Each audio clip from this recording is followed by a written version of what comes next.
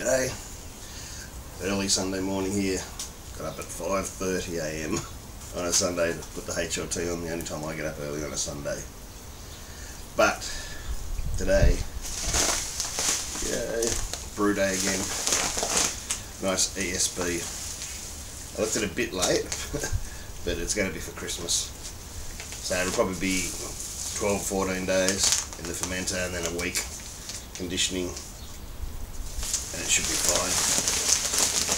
Nice uh, grain bill, about 4 kilos of Maris Otter.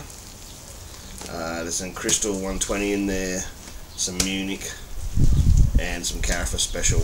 Uh, I'll put the recipe link down below, it'll be on the Cellar Dweller site. Uh, Christmas ESB, extra special bitter, Christmas style. I'm going to try and add a few different things I haven't used before at the end of the boil. Try and make it a bit Christmassy. Hope it turns out okay. Alright, my, uh, as I said, my HLT's been on the while, that's ready to go. I've been pre-warming the uh, mash tun. So, let's get it in. A good thing to do if you're sort of new to this all grain, or even if you aren't, you should be tasting your grain. Um, checking out the crush. Check out your crush. Make sure the grains aren't crushed too fine. Actually just want them split. Hopefully you can see that. This isn't too bad. Nice big shells of the uh, grain. But all of them look like they've been split, which is good. That's what you want. Not too much dust in the bottom. You're going to get a little bit.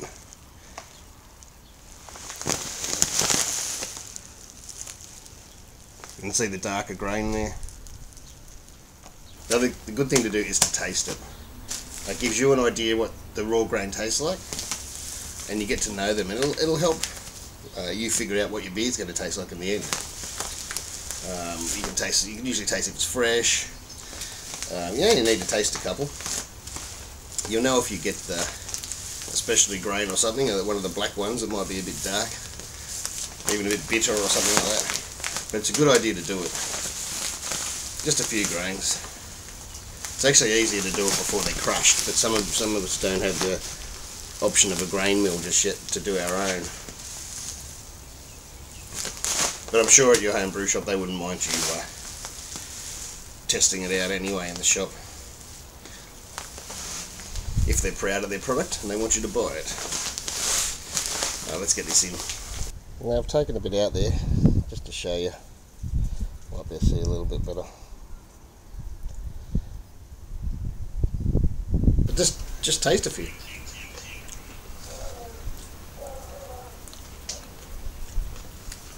Mmm, that's nice. That's why Maris Otter's so popular. That's a nice grain. Get used to the flavours. Taste all the way through your wort uh, before it's fermented, after it's fermented, before it's carbonated, and you get to know the flavours. That's really nice. I had this for breakfast. I just added some salts to the mash tun, just to adjust my water profile for the way I want it for this beer. I'm going to start with uh, 14 and a half litres of water uh, at nearly 75 degrees. Uh, I'm heading for a mash temp of around 66.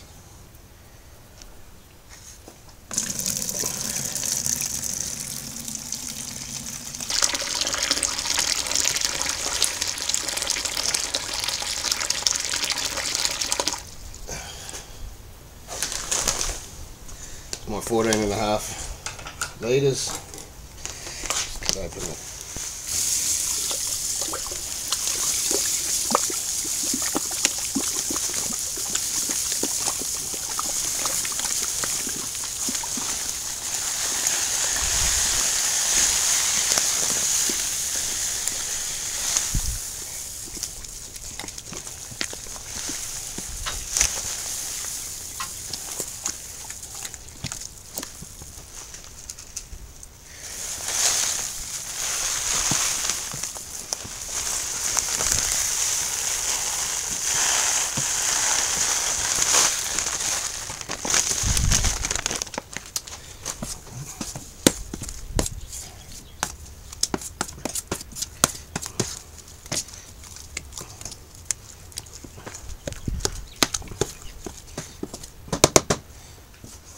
There we go.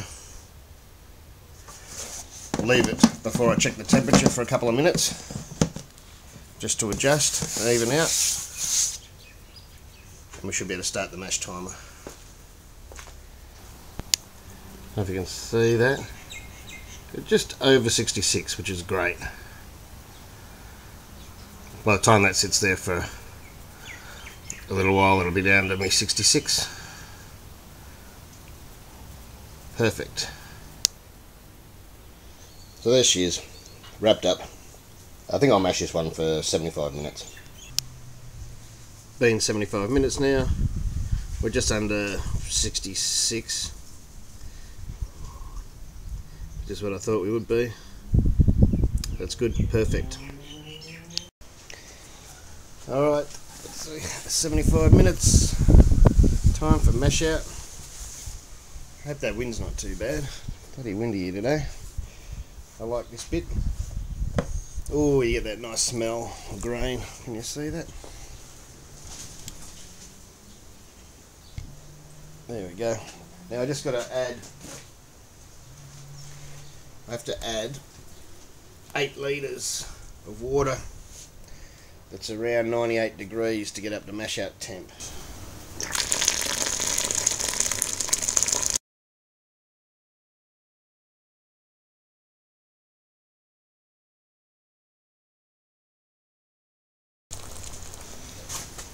Do. Give it a stir. Just to distribute the heat a bit.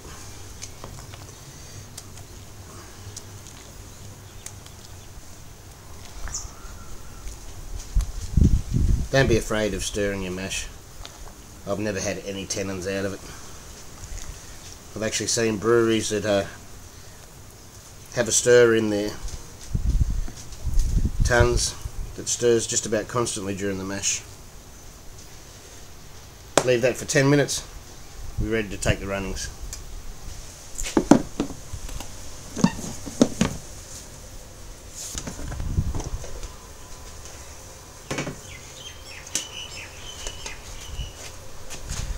Our time's up for mash out. Start taking some runnings.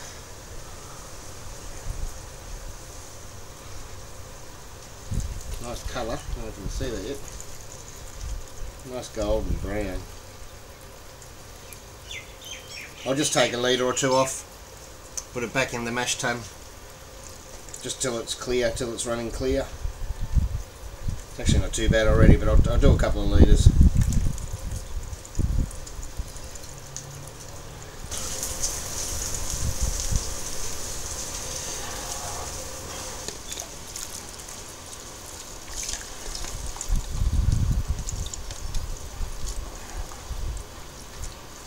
Couple of little bits of grain in there. One more.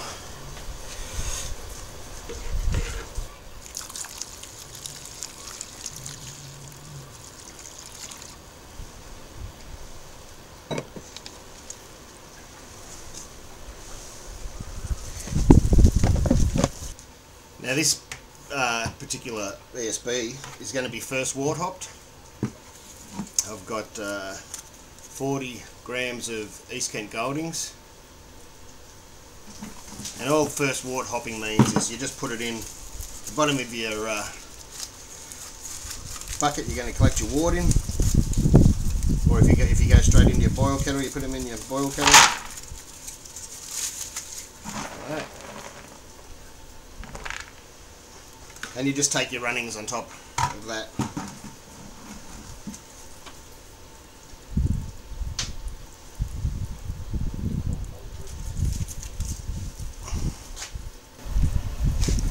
Maybe a little bit fast. Let's knock it back a bit. You don't want to take your runnings too fast.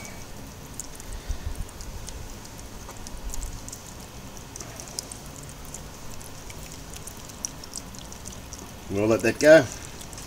And first wort hopping is just supposed, it's supposed to, uh, the, the bitterness won't be so harsh from the hopping.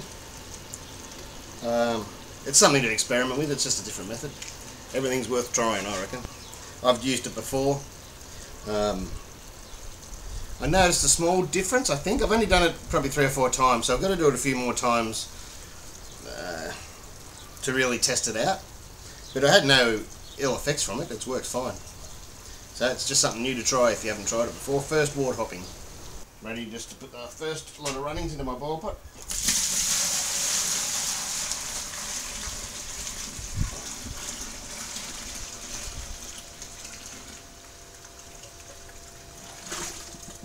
The hops. As much as you can get. The rest will come out the second lot of runnings I'm just about to take. Uh, we're going for a batch sparge now, about 17 litres I want. The water's at uh, around 77 degrees.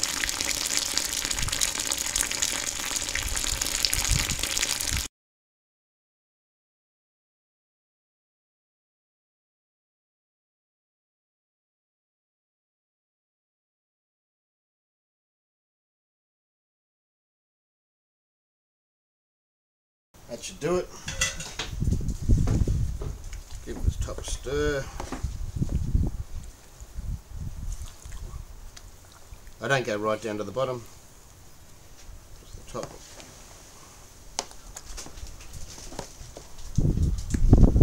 Leave that sit for another 10 or 15 minutes and we'll start taking the second runnings.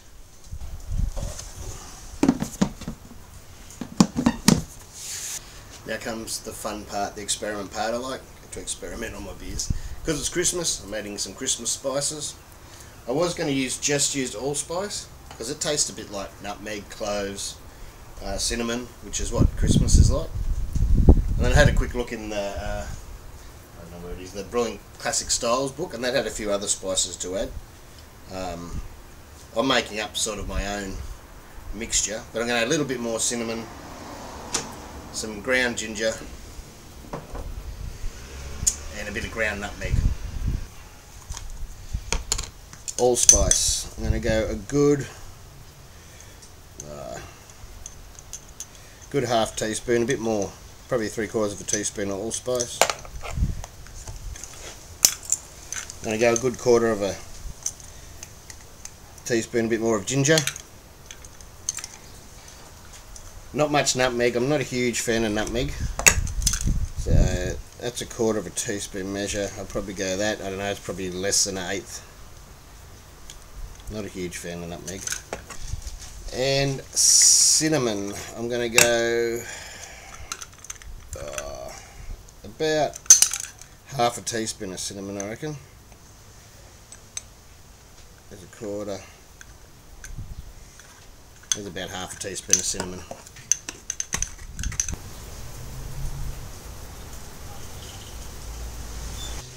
I don't want the spices to be overpowering. I just want them just to be a touch there. I don't like many flavours in my beer other than beer. I don't really like fruit beers or anything like that. I'll drink them, but you know, they're not my favourites.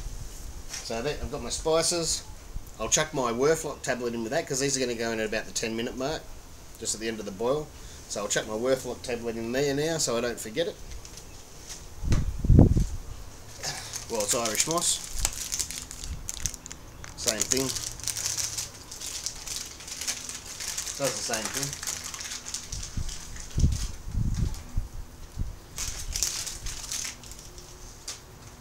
And that's another little tip too, because the, the, Irish moss or Whirlfloc, or whatever you use, is easy to forget. If, it, if, you, if you've got a 10 minute addition of hops or, or spices, I've got both, but um, if you whack it in when you remember, when you're measuring, you won't forget to put it in. Just because I had so many comments about my um, Evil Dead t-shirt in the last couple of videos I wore, here's another one. This is a Walking Dead one, of course, if you know. See if you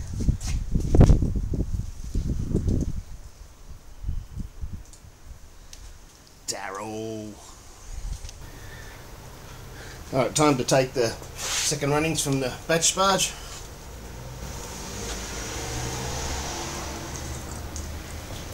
Don't worry if things look a bit gunky today, that's just from the hops, from the first wort hopping. Oh, we're running nice and clear already.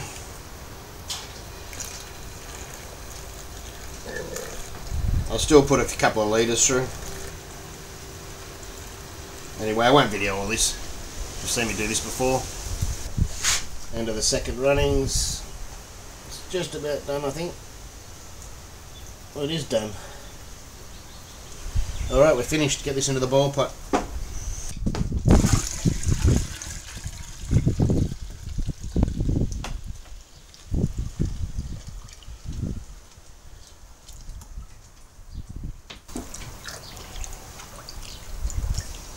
And this is where I'll take the pre-boil gravity.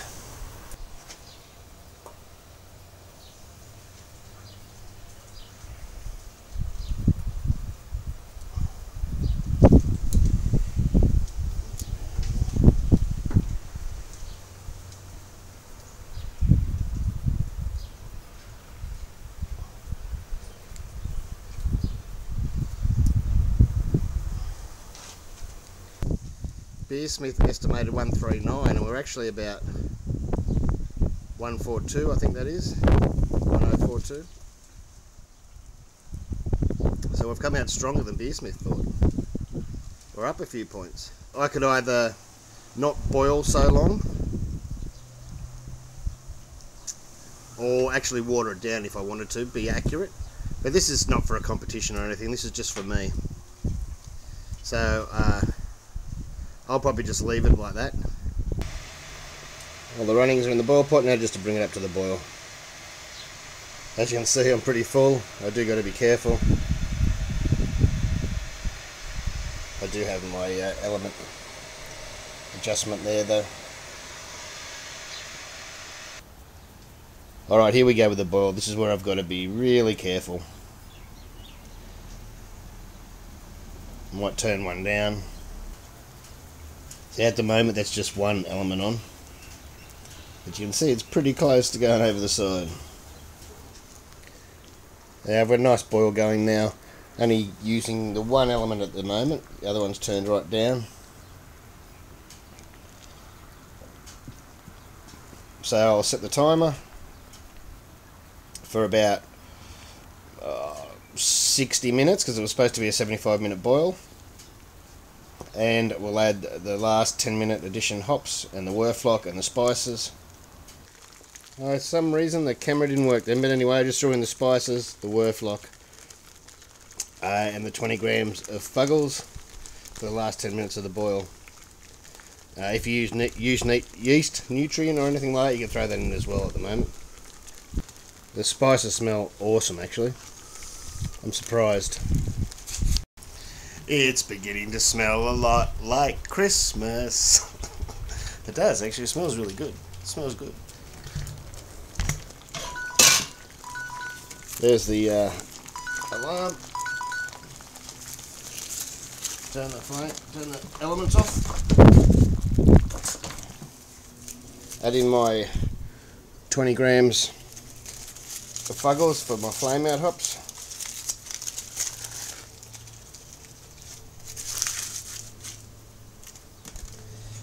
Get the whirlpool going.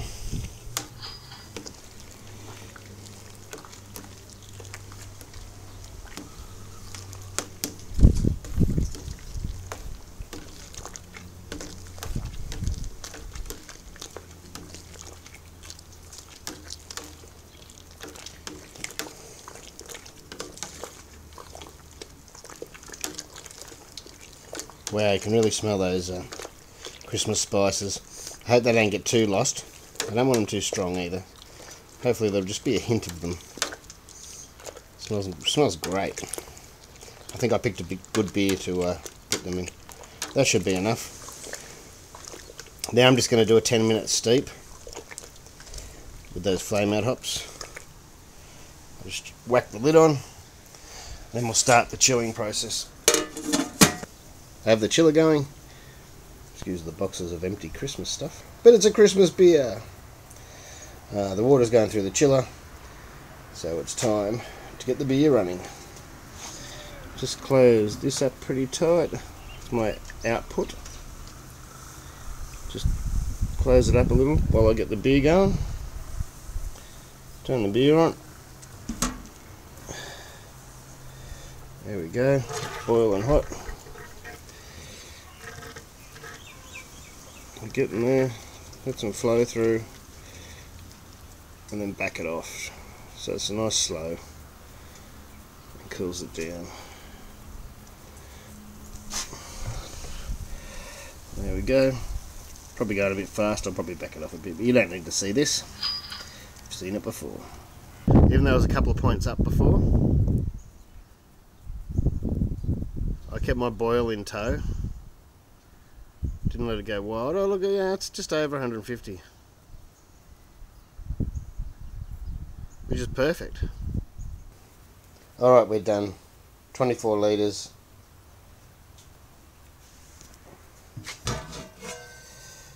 There's the boil pot, big pile of hop in the middle. I've got to my numbers that I wanted. smells great. Those spices really uh, smell good. Hopefully some of them will stay around after the ferment. And I'll just put this in the fermenting fridge. It's probably a few points up. I rushed the chill a bit. It's probably it's just over 30. But uh, in the, my fermenting fridge, I'll get this down within an hour or two to pitching temps. So that's the brew. I'm devastated that the camera wasn't. Something happened with the camera when I was putting in the, the spices, but uh, anyway, I'm going to be pitching London ale yeast. I don't usually use this yeast. Normally I'd just use a US-05 for this.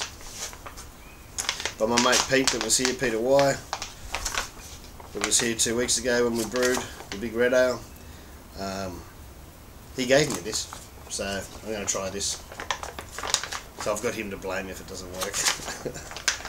but uh, anyway, this should be really good. I'm really looking forward to it. Those uh, Christmas spices smell sensational and the recipe is tried and true.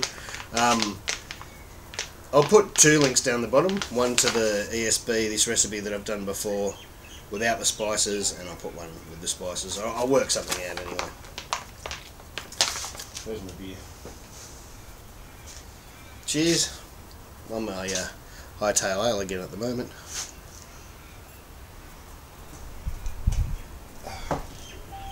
Anyway, I might film some later of me pitching the yeast. If I don't, you'll have seen me do it before.